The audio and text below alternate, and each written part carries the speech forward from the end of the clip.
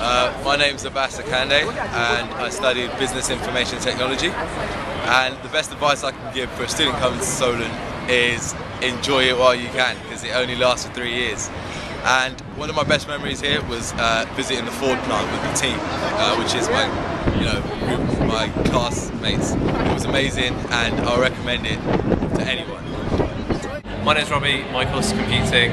Um, my best memory of Solent is quite hard to put down um, because there are just so many. I'll probably put it in halls though, first year. My name's Chris Marsden and I did computer systems and networks. And um, I suppose the best thing about it was uh, learning a bunch of new stuff, even though I started later uh, I'm James Bullock. Uh, I did uh, outside broadcast technology as a degree, um, and Solent's brilliant because of the experience it offers you. You have an outside broadcasting truck, and they get so much work from that. The lectures are fantastic, and you learn so much from the industry that really helps you get a job. Okay, hello, I'm Kelly Burgess. I took BSc Live and Studio Sound, and my best memory of Solent was working at Truck Festival with all my friends and having fun.